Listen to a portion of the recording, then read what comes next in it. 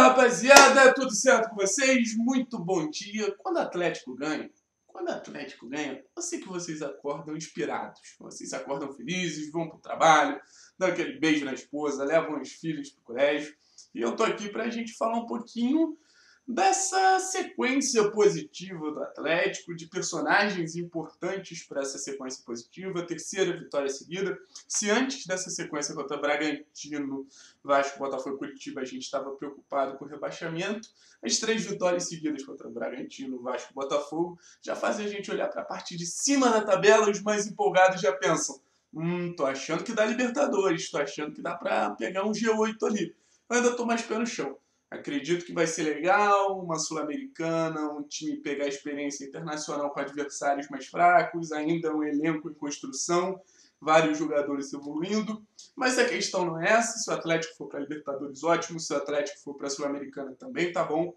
É, a questão é o time continuar de maneira consistente. Semana de clássico contra o Curitiba, um Curitiba que acabou perdendo para um adversário direto, que era o Goiás, e já tinha perdido para o Botafogo, está cada vez mais afundado no último lugar da tabela de classificação. Então, o que eu quero trazer para vocês são destaques dessa boa campanha do Atlético. Acho que nos últimos 10 jogos são 7 vitórias, e muito dessas vitórias, muito desse bom momento com Paulo Autori, passa pela dupla Renato Kaiser e Carlos Eduardo. Dois jogadores que têm uma história diferente no Atlético, mas se a gente for pensar em contribuição para o momento que o Atlético está vivendo, talvez esses dois tenham até mais contribuição do que o Nicão, que é a grande referência do Atlético. Então, vou começar falando um pouco do Renato Kaiser. O Renato Kaiser chegou num momento que existia uma urgência por um centroavante. O treinador que tivesse no Atlético olharia para o banco, olharia as opções ali e enxerga Walter e talvez até um Mingote poderia ser uma opção, já que foi titular no Campeonato Brasileiro. O Atlético estreou no Campeonato Brasileiro no Castelão contra o Fortaleza com Vinícius Mingote no ataque. Você é, não lembra disso, eu estou te lembrando aqui. Então existia uma pressão muito grande da torcida, depois de ter vivido um ano mágico com Marco Ruben, depois de ter vivido um ano mágico com Pablo, da contratação desse camisa 9, o Atlético se movimentou nos minutos finais ali da janela, trouxe Renato Kaiser, pagou a grana que tinha que pagar, o Atlético Goianiense, ex-clube do atacante, tentou segurar, e existe uma desconfiança, apesar do bom momento. O Renato vive o melhor ano da carreira, fez um monte de gol lá no campeonato estadual, vinha fazendo gols importantes pelo Atlético Goianiense, pelo Dragão, mas acho que ainda existia uma desconfiança. Um jogador que já tem uma idade, 24 ali, anos ali, e nunca tinha estourado. E muita gente defendia uma sequência para o Walter, muita gente defendia uma sequência para o Pissoli, mas desde cedo o Renato Kaiser se mostrou um jogador muito muito convicto que ia dar certo no Atlético. Acho que o termo é esse. Ele sempre lutou muito quando o Atlético estava numa fase. Ele era o cara que ia lá, disputava, é um cara que pressiona muito bem, incomoda muito bem a saída de bola dos times adversários, então ele tem esse mérito e é sempre muito raçudo, comemora seus gols, porra, de maneira vibrante, é, não tem como esquecer no momento da temporada o gol contra o Fortaleza, né, onde ele acabou salvando o Atlético ali de mais um tropeço encaminhou para uma sequência de vitórias também, um gol que ele saiu chorando.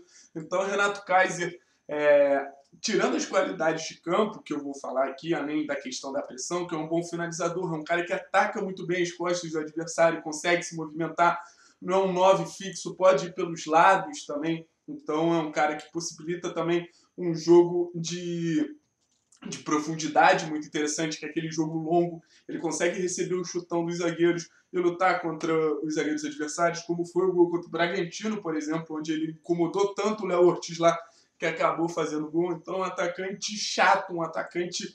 Porra, aquele atacante argentino, sabe? Aquele atacante que não deixa o zagueiro quieto em um minuto. E vem dando muito certo no Atlético, vem transformando toda essa raça, toda essa energia, toda essa vontade em gols e já vem conquistando a maior parte da torcida atleticana, que já tem o Kaiser ali como um cara muito querido. E para a torcida atleticana é muito importante você ter um camisa 9.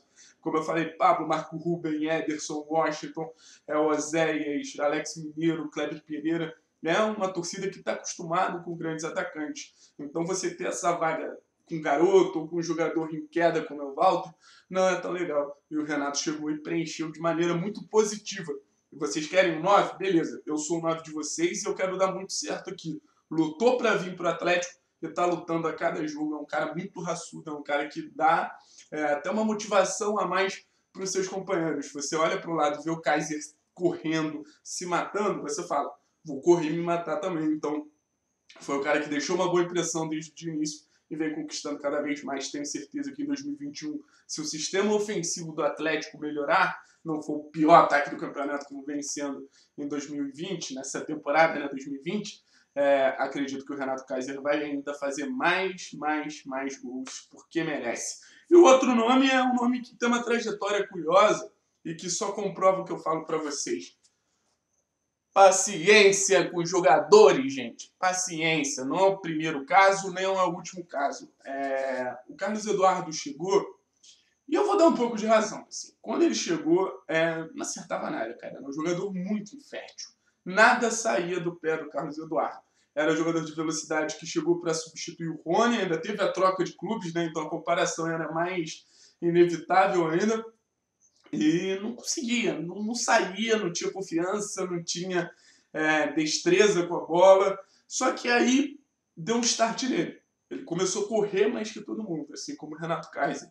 Então, olha as semelhanças. Não são jogadores mega técnicos, mas são jogadores mega dedicados, mega esforçados. Então, a partir do momento que ele começou a correr, a torcida já olhou com bons olhos. Pô, o time perdeu, o Carlos Eduardo jogou muito mal, porque ele joga numa posição que o jogador tem um alto índice de erro, mas o que conta é o índice de acerto. Se a gente for lembrar, o Rony errava muito, mas acertava muito também.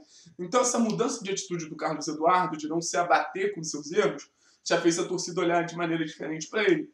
Aí quando o autor chegou, ele mesmo disse em entrevista que o autor deu um carinho especial, as coisas mudaram completamente. Porque o Carlos Eduardo passou de ser um jogador infértil, que nada nascia do pé dele, para ser um jogador muito produtivo já são quatro assistências, cinco gols no Campeonato Brasileiro, se eu não estou enganado. E é um jogador que cria as principais chances do Atlético. Deu um passe lindo no gol do Léo Cittadini. É um jogador que atua pelo corredor, é um jogador que entra na área, é um jogador que tem coragem de finalizar de fora da área, como foi contra o Vasco. Então, é, o crescimento do Atlético, as vitórias do Atlético, refletem individualmente, refletem crescimentos individuais. E é muito bom você ver o Carlos Eduardo mostrando que, pô, fui importante nessa reta final de 2020, posso ser muito importante em 2021 também. E eu confio no Cadu, acho que é um jogador que tem um potencial de evolução muito grande, não à toa é, se pagou tanto como se pagou pelo Carlos Eduardo. Vários clubes já tiveram interesse, o Flamengo já tentou tirar o Carlos Eduardo lá do Egito, São Paulo já tentou, o Palmeiras conseguiu. Não é um jogador péssimo. Então, o recado que eu dou é paciência, vamos esperar, cada jogador tem seu tempo. Se tiver sequência, talvez decole, como foi com Carlos Eduardo, e o Renato Kaiser já conseguiu dar uma resposta mais imediata.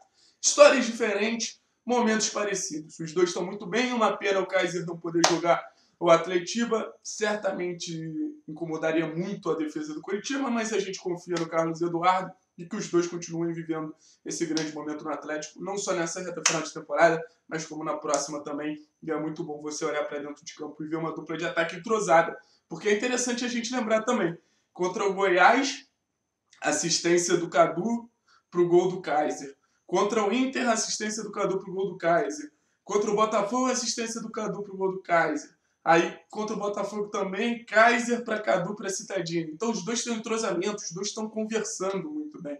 E isso me empolga. Eu gosto de ver duplas de ataque, Bebeto Romário, Ronaldo e Rivaldo, Ederson e Marcelo, é, Pablo e, enfim, é, várias duplas aí que já consagraram Atlético. Washington e Assis, José e Paulo Rink. É, foram várias e várias e várias. E agora a gente vê nascer não sei se vai chegar a esse potencial todo, né? Não estou comparando também, mas é legal você ver essa parceria e os dois estão conversando muito bem. Jogadores dedicados, jogadores esforçados e jogadores que vivem um grande momento.